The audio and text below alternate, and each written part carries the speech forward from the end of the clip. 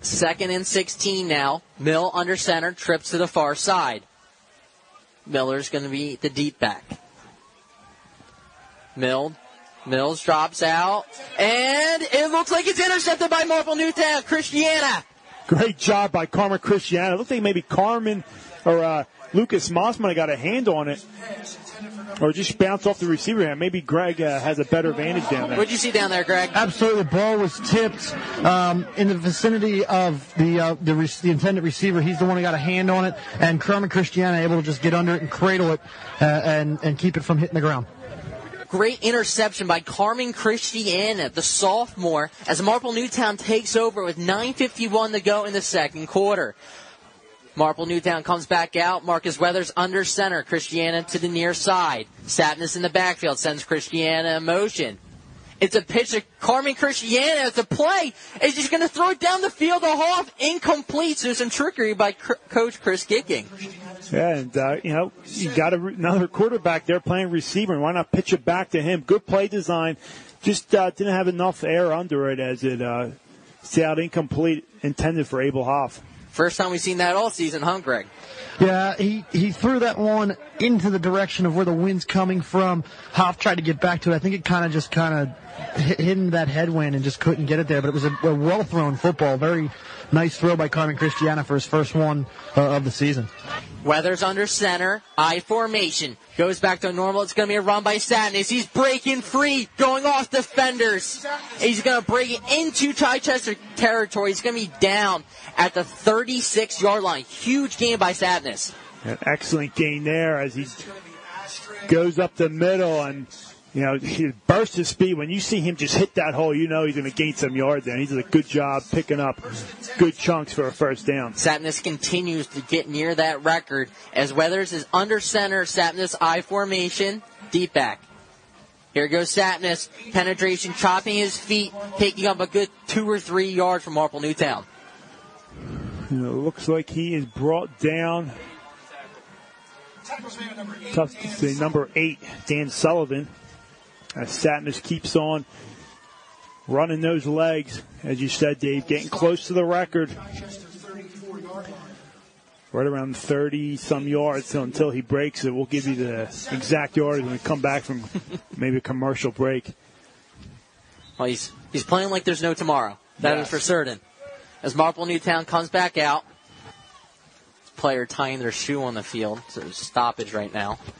Marple Newtown looks like they're in another running formation with Satness, who continues to march down his way with two touchdowns already in this game.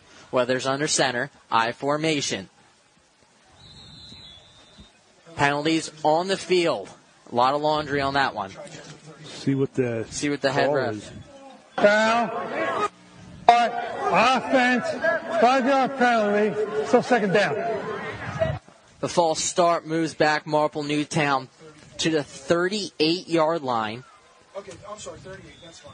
Marple Newtown not hurting themselves with penalties now.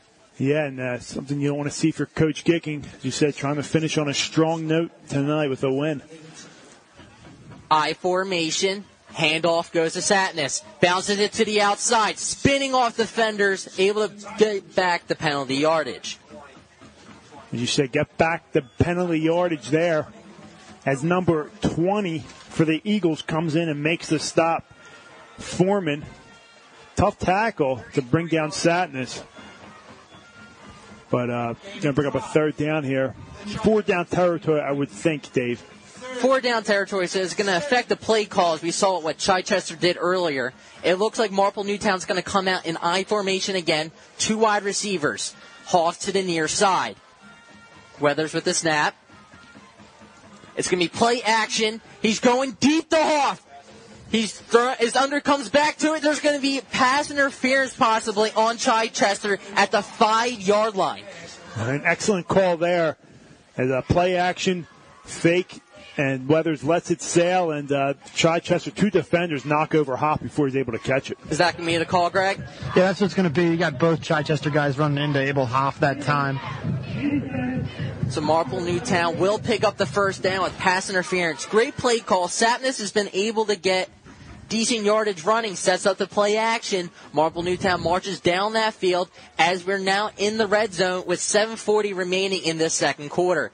Ball will be spotted on the 18 yard line of Chichester. Yep. Weathers under center, I formation. 10 Tigers. Marple Newtown.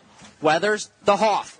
Passes down the sidelines. Hoff breaking tackles, fights his way into the end zone. Touchdown, Marple Newtown. What an excellent job by Abel Hoff hauling that reception, make a few moves, and just squeezes his way across the end zone for another Tiger touchdown. Greg, you had a great point of view seeing tackles taken right there. Well, I'll tell you what, his his one foot, he tiptoed that sideline. The ability to do that and make guys miss and still find your way into the end zone over a six you know six yard area, it was unbelievable by Abel, Abel Hoff to stay in bounds. Kicking the extra point is George Lambricios for Marple Newtown after the Hoff reception for a touchdown. Weathers holding. The snap, clean. The kick is up. The kick is good. That will make it 21 nothing. Marple Newtown, 7:31 remaining in the second quarter. You're listening to Marple Newtown football on the Tigers Radio Network.